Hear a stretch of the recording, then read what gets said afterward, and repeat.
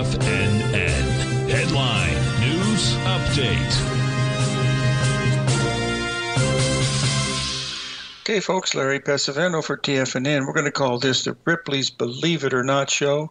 Folks, over the last three or four days, I've been showing you the different price levels of the Dow Jones, the Russell, the Nasdaq, and the S&P 500 uh, of where they've been over the last few weeks.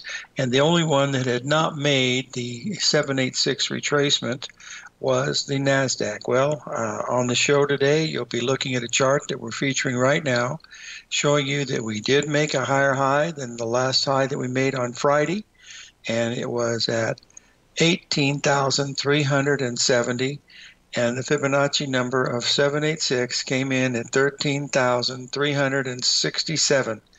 It went three pips beyond the uh, three points beyond the actual price, and as you can see, it's backed off about 50 handles uh, since that time. Folks, I don't really know whether that means very much, but it, it must mean something because as the NASDAQ was up making the new 786 retracement, the Dow Jones, which of course had been the leader, it had gone all the way to the 78% level uh, on Friday, uh, was only making a 382 retracement today. Now, it's still done the same thing, but that's exactly what we see happening. I My uh, gut tells me that there's something probably really big out there, maybe an outlier event or something that we're not really uh, not really considering. But the fact that we hit all of these numbers, the last one today, and and you know, folks, these can go a lot higher, as you well know. When you look at copper, folks, at four dollars and ninety three cents per pound, we haven't seen copper at that level for four years. It did hit the 502 a few years ago, and we're at 492 now. I mean, that's just been a straight up move.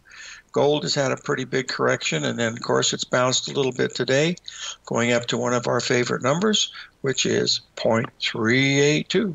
Anyway, these are the things that we're going to be watching today. Try to stay tuned for the show. The halftime break, we're going to have our good friend Peter Eliades of Stock Market Cycles, and he'll be showing us a uh, a pattern that he really uh, feels very strongly in. When Peter puts his name on something, you better pay attention.